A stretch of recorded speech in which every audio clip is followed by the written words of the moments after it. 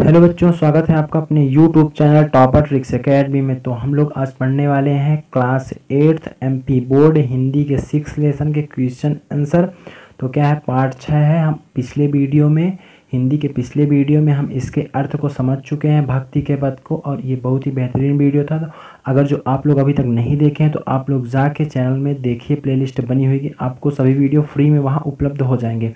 तो आप लोग जल्दी से अपने दोस्तों के पास ही वीडियो को भेज दीजिए शेयर कर दीजिए व्हाट्सअप या फेसबुक के माध्यम से, ताकि वो भी फ्री वीडियो क्लास का फ़ायदा उठा सकें। और चैनल को सब्सक्राइब कर लीजिए, ताकि मैं कोई वीडियो बनाता हूँ अपलोड करता हूँ तो आपके पास तक उसकी सूचना पहुँच जाए। तो क्या था इसका शीर्षक, भक्ति के पद तो इसके क्वेश्चन आंसर चलिए करते हैं हम लोग। तो देखिए प्यारे बच्चों, आपके अभ्यास में पहला प्रश्न क्या है? बोध प्रश्न। बोध प्रश्न में पहला प्रश्न क्या बोल रहा है? निम्नलिखित शब्दों के अर्थ शब्दकोश से खोज कर लिखिए। तो आप लोग हम शब्द के अर्थ बोलते जाएँगे। आप लोग वीडियो को रोक रोक के अपने नोट्स में अच्छे से लिख लीजिए, ठीक? उसके बाद वीडियो चला के आगे बढ़ा के देख सकते हैं। तो पहले नंबर पे क्या दिया हो देखा, देखिए क्या है? पंछी।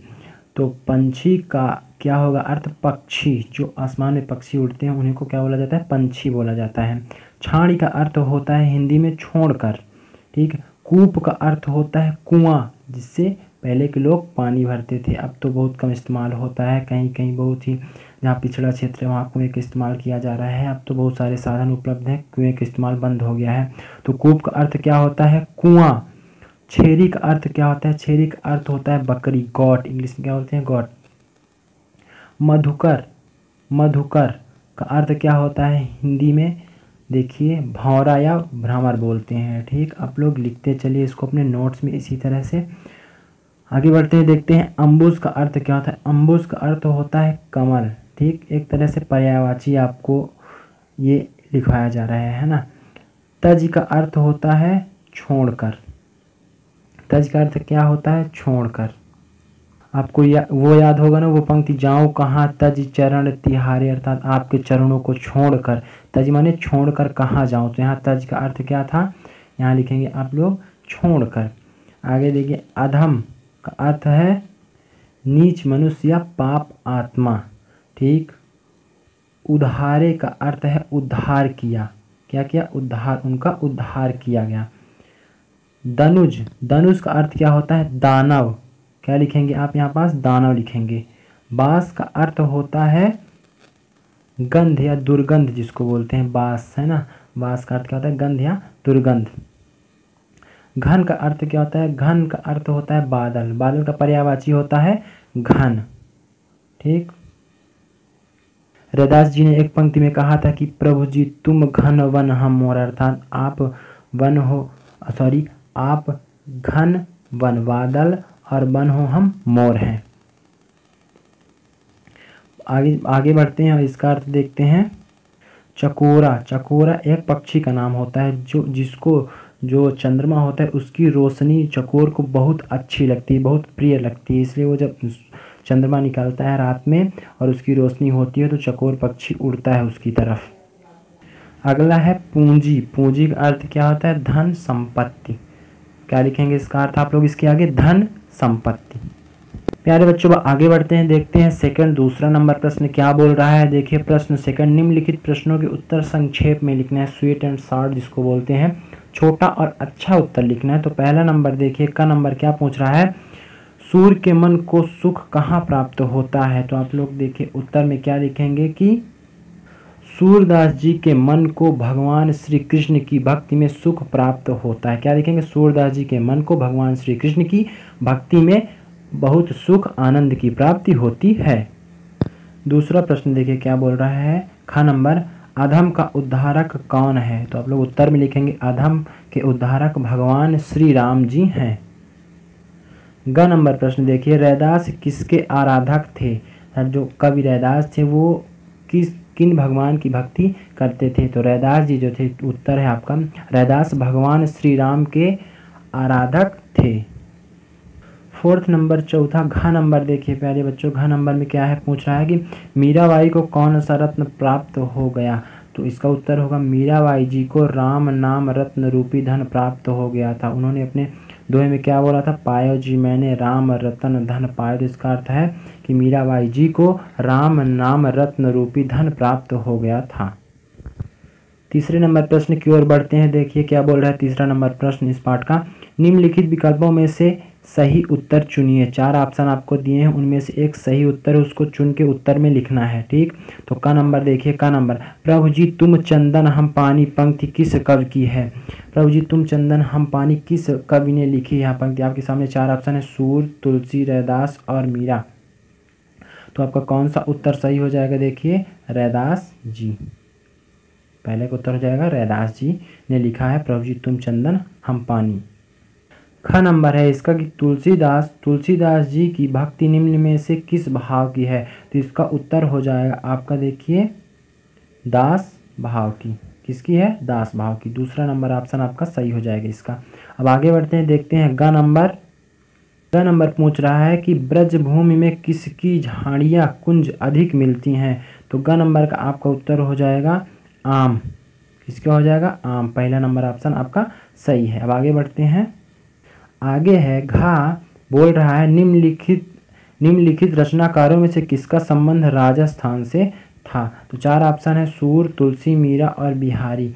तो आपका आंसर होगा मीरा का संबंध, अर्थात मीरा जी कहाँ की थी? राजस्थान की। तो उनका संबंध कहाँ से था? राजस्थान से था। ये आपका तीसरा नंबर उत्तर सही हो जाएगा इस प्रश्न का।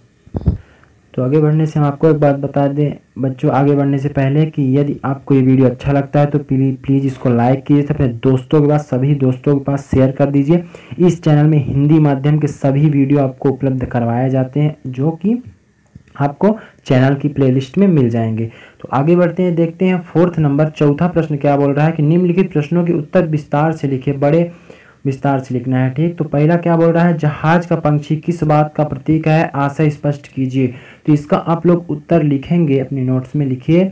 जहाज़ का पक्षी भटकते हुए मन का प्रतीक है। जिस प्रकार समुद्री जहाज़ का पक्षी समुद्र में समुद्र में चलते जहाज़ से उड़कर अन्यंत्र आश्रय न पाकर पुनः उसी जहाज़ पर वापस लौट आता है। उसी प्रकार भक्त कवि का मन भी कमल नयन श्री कृष्ण के अतिरिक्त और किसी अन्य देवता की आराधना नहीं करना चाहता, उसे श्री कृष्ण की भक्ति में ही अपार सुख का अनुभव होता है।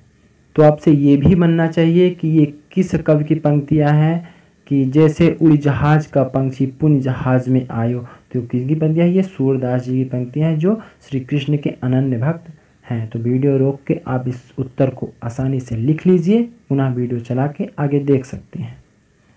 चौथा का दूसरा, अर्थात ख नंबर प्रश्न क्या बोल रहा है? तुलसी ने किस, किसके उद्धार का उल्लेख किया है। तो इसका आप लोग उत्तर लिखिए। तुलसीदास जी ने जटायु रूपी पक्षी, मरीच रूपी कपट, मृग, स्वर्ण मृग और वाल्मीकि जैसे डाकू, अहिल्या रूपी पत्थर और यमला अर्जुन रूपी वृक्ष के उद्धार का उल्लेख किया है। तो इसका उल्लेख थोड़ा सा देख लेते हैं, वर्णन देख लेते हैं। जटायु पक्षी सीता हरण के समय, सीता को बचाते समय रावण से संघर्ष में घायल हो गया था। मारीच रावण का और दूसरे नंबर में क्या है? मारीज है। तो मारीज कौन था? मारीज रावण का संबंधी था, जिसने मायावी स्वर्ण मृग बनकर सीता हरण में रावण की सहायता की थी। श्री राम ने उसका उद्धार किया था मार के। और तीसरा नंबर, बाल्मीकि बाल्मीकि जी कौन थे? बाल्मीक पहले एक डाकू थे, परंतु राम का उल्टा नाम लेते लेते ऋष बन गए और अहिल्या गौतम ऋष की पत्नी थी। अहिल्या कौन थी? गौतम ऋष की पत्नी थी, जो श्राप के कारण पत्थर की शिला बन गई थी, या और यमला अर्जुन श्राप के कारण वृक्ष बन गए थे। प्रभु ने इन सभी का उद्धार किया था।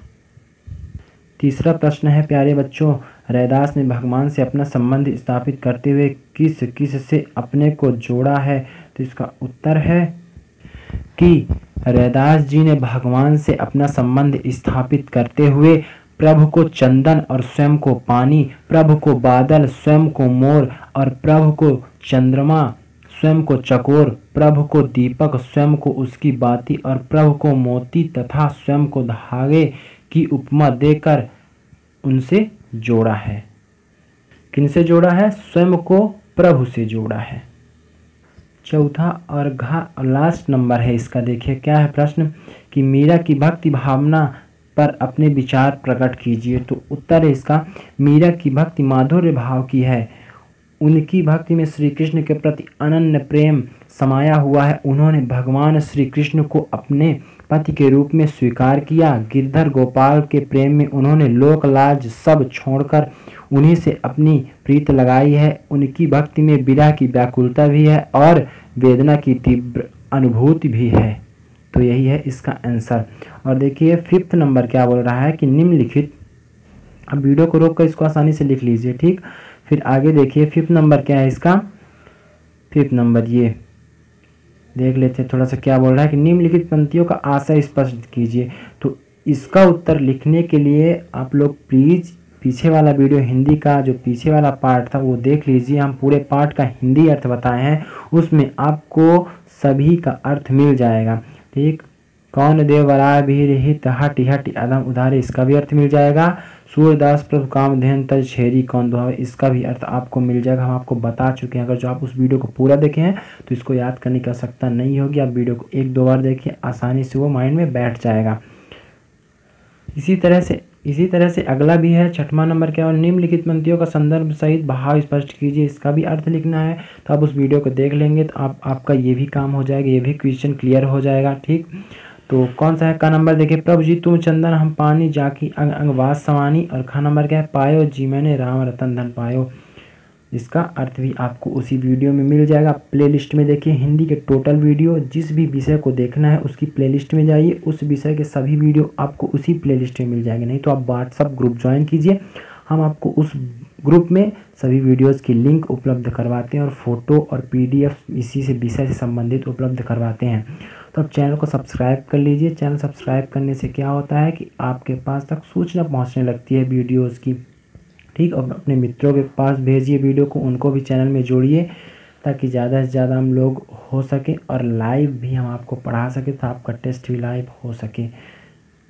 और इस पाठ में जो भी आगे दिए हुए हैं, व्याकरण है, तत्सम, तत्भाव, कुछ भी हैं, आप व्याकरण की व्याकरण का टेंशन ना लीजिए, हम आपको व्याकरण की वीडियोस अलग से उपलब्ध कराएँगे और आप लोग पूरा वीडियो तो देखते नहीं व्याकरण का। पूरा वीडियो देखिए तो कुछ समझ में आए, कितनी बेहतरीन ट्रिक हम आपको बताते हैं। शायद यूट्यूब में उपलब्ध ना होगी, आपको आसानी से नहीं मिलेगी ढूँढने में, है ना? इतनी अच्छी ट्रिक बताते हैं कि आपके माइंड में बैठ जाए। तो वीडियो को पूरा ज़रूर देखा करिए। तो इस वीडियो में इतना ही। अब मिलते हैं नेक्स्ट वीडियो में। जय हिंद, जय भारत।